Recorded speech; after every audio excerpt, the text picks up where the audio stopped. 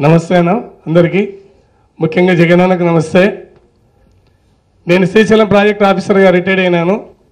ఎప్పుడూ ప్రజల్లోనే తిరిగే కళాకారుడిగా నేను పది సంవత్సరాలు కాదు నలభై సంవత్సరాల నుంచి ప్రజల నాడి తెలుసుకొని అందరితో అందరి వాడని అనిపించుకొని అందరూ బాగుండాలి. అందులో నేనుండాలి అన్నటువంటి నేచర్ గలవాన్ని నిజంగా జగనన్న ప్రవేశపెట్టినటువంటి సూత్రాలకు ఆకర్షితుడనే వచ్చాను. మంచూసి మేము కలలకు నిలయంబు కవితకు ప్రాణంబు మీరు ఉనర్చుచున్న సత్కార్యంబులు ఇంతకన్న ఘనుడింక ఇలను లేడు రాడు. సర్వదేవతలు మీ వెన్నంటూ ఉండి సర్వదేవతలు మీ వెన్నంటూ ఉండి విజయంబు బాటలో నడిపింతురయ్యా. కాదరు బాబు మాట ఖచ్చితమైన మాట స్వీకరించవన్న నా చిన్ని కవిత. నేను అన్నకు చెప్పేందుకు వాళ్ళే కాదు. ఒక రిటైర్డ్ ఆఫీసర్గా ప్రజల మనిషిగా ప్రజల మాట నా నోట ఈరోజు వినిపించాలనుకుంటున్నాను. దయతో స్వీకరించండి. అన్నగారు టీవీలు చూస్తూ ఉంటాను అన్నీ చూస్తూ ఉన్నాను ఎవరు ఏమి చెప్పాల్సిన పని లేకుండా వారికి వారే ప్రజలకు ఏం కావాలో అన్ని వసతులు చేకూర్చే ఘనుడు వైఎస్ రాజశేఖర రెడ్డి అన్న. ఎవరేం అడగకుండానే అన్నీ ఉన్నాయి. మనం మళ్ళీ చెప్పాల్సిన పని లేదు. కాకపోతే ఇప్పుడు ప్రభుత్వం మీద కూర్చోవలసిన మన ముఖ్యమంత్రిగా చూడాలనుకున్నటువంటి జగనన్నకి మనం జేజేలు కొట్టడానికి ఎంతో ఖ్యాతి గడించిన గౌరవనీయులు doctor Shri Y S Rajasekhara Reddy గారి గురించి అన్నగారు ప్రతి మీటింగ్లో ఒక నిమిషం మాట్లాడవలసిందిగా కోరుతున్నాను. అది మైనస్గా కనపడుతుందని చెప్పి మా ప్రజలు చెప్తా ఉన్నారు. నాకు అవకాశం ఇవ్వండి ఓటు వేస్తే మీకోసం వచ్చి శ్రమ చేస్తానని ఒక మాట వచ్చి అడగండి. మనం వస్తాం ఖచ్చితంగా కానీ ఓటు అడగండి ప్రజల్ని ప్రజల నాడి వజ్రాయుధం అది. అలాగే బూత్ కన్వీనర్లకు ట్రైనింగ్ క్లాసులు నిర్వహించాలి. అలాగే ఓటింగ్ టైంలో ఓటర్లను బూతుల వద్ద తరించడం తగిన ఏర్పాట్లు చేయాలి.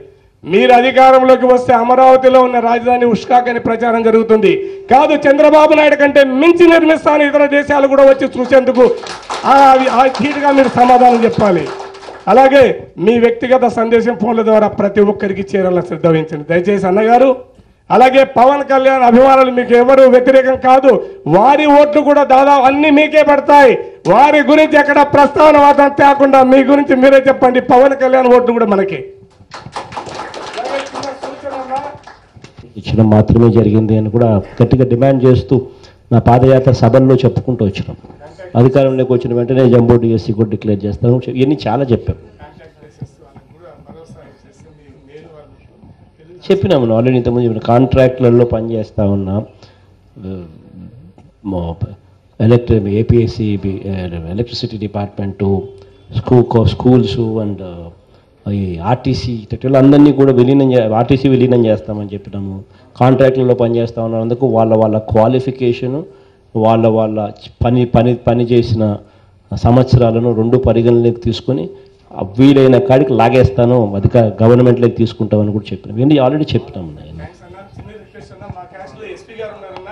రిజైన్ చేసి దూదేకుల చైతన్య యాత్ర మీకోసం జరపడానికి సిద్ధంగా ఉన్నారన్న పోస్ట్ రిజైన్ చేసి ఎస్పీ గారు ఎందుకంటే దూదేకుల వల్ల మీ మాట నమ్ముతున్నాం మేము కూడా మాటిస్తే ఎన్నికపోయే రకం కాదు కూర్చోండి కాబట్టి బాబు గారు దయచేసి మాకు అవకాశం టైంలోనే అంతో ఎంతో దీనికి ఏదో పరిష్కారం చూపించాలని చెప్పి ప్రయత్నం జరిగింది ఆ తర్వాత నాయన చనిపోయిన తర్వాత మళ్ళీ అది కూడా మధ్యలోనే పనులన్నీ కూడా ఆగిపోయిన పరిస్థితులు వచ్చినాయి. సార్. ఇది నిజంగానే కూడా దానికి కుప్పంకు నిజంగానే మేలు జరగాలంటే నిజంగా జరగాలి సార్ అది అందరినీ వా- ఇది ఫేక్ సార్ అది. అది ఊరికే యామారిస్తా ఉన్నారు.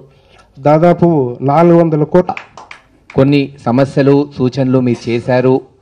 అవి జగన్మోహన్ రెడ్డి గారు మీకు స్పష్టంగా చేసి చెప్పారు. మిగతా అన్నీ కూడా ఎక్కడికి పోవట్లేదు.